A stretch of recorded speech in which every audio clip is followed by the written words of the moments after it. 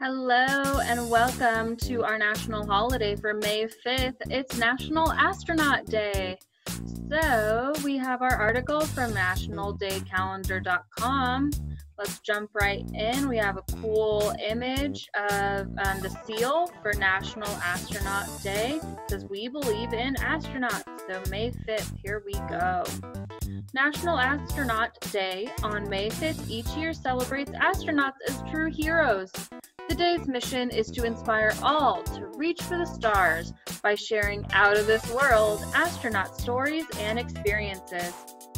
On May 5, 1961, astronaut Alan Bartlett Shepard Jr. became the first American in space aboard the Freedom 7 space capsule. The brief suborbital, suborbital flight which lasted 15 minutes and reached a height of 116 miles into the atmosphere, was a milestone achievement. This trailblazing example of heroic bravery and adventurous spirit is the essence of what National Astronaut Day is all about. By sharing the incredible stories, experiences, and perspectives of actual astronauts, the mission of National Astronaut Day intends to inspire us all to follow our dreams. The day includes both future astronauts and those who seek to keep their feet on the ground. So, how do we observe National Astronaut Day? You can put on your spacesuit and practice your moonwalk. Are you ready for zero gravity? If not, just experience a little of the excitement of space. Learn about the history of spaceflight.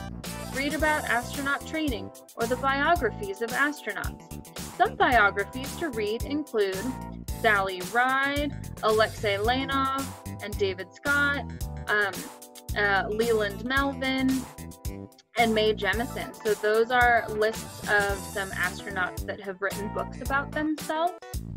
Um, also, you could watch a documentary or learn more about the International Space Station.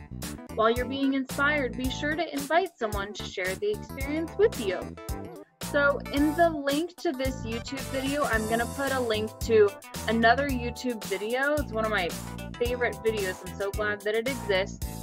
And it's this video right here, and it's a tour of the International Space Station. It's called International Space Station Inside ISS Tour Q&A, and it's in high definition. So this video was posted in 2016, and it's an actual tour of an astronaut I'm not certain if I play too much of it, if, if I'll get in, trouble with YouTube. But um, this is a great, amazing, so, so cool. It is 30 minutes long, but you can click through and just watch um, as much or as little of it as you want.